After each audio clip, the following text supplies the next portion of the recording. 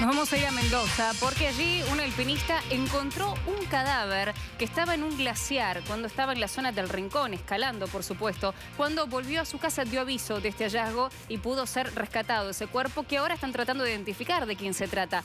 Parece que podría ser de un alpinista que había desaparecido 30 años atrás, español él. Vamos a hablar ahora con un miembro de la patrulla de rescate que estuvo trabajando en esto. Vamos a hablar con Alejandro Alonso. ¿Qué tal, Alejandro? Buenas tardes. Hola, ¿qué tal? Buenas tardes. Bueno, Alejandro, ¿nos puedes contar cómo fue este proceso, este rescate? ¿Cómo se, dan cuenta dónde tener que ir a buscarlo? ¿Cómo fue el aviso?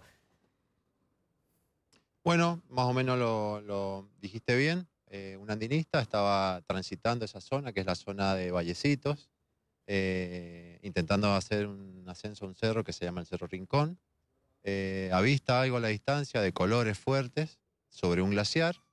Y bueno, la idea fue bajar y a ver de qué se trataba. Y bueno, se encuentra con, con la sorpresa de que es un cuerpo de una persona que al parecer llevaba muchos años. Entonces, bueno, decide bajar, da aviso a las autoridades y nos convocan a nosotros, como somos un grupo de rescate de la policía, eh, nos convocan para trabajar este, este hecho en concreto. Lo que se, hizo fue una...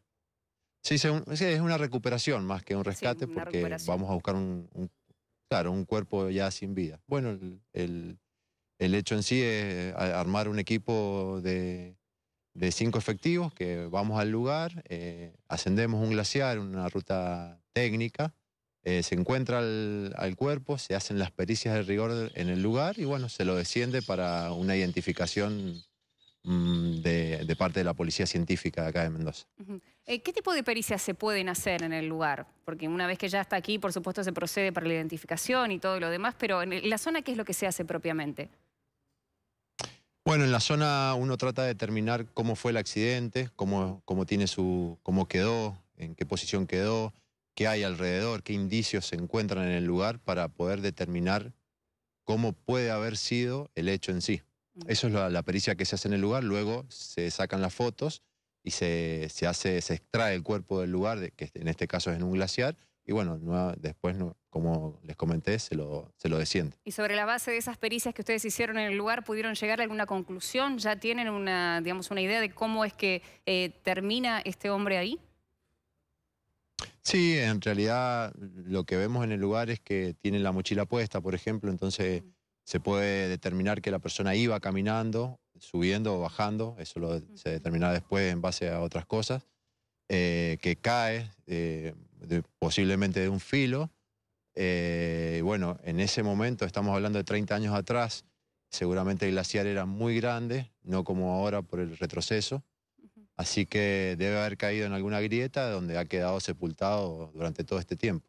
Pero posiblemente con lo que nosotros vimos en el lugar es que la persona iba caminando. Iba caminando. Bueno, Alejandro, por último, te pregunto si ya ha habido algún avance con respecto a su identificación, si se pudo eh, constatar efectivamente que se trataba de este hombre español de 30 años, eh, perdón, desaparecido hace 30 años. Bueno, eso lo está manejando eh, a nivel consulado y a nivel juzgado, que en este caso es la Fiscalía número 11 de Luján, junto con la Policía Científica. Ellos van a determinar bien si, si se trata de esta persona.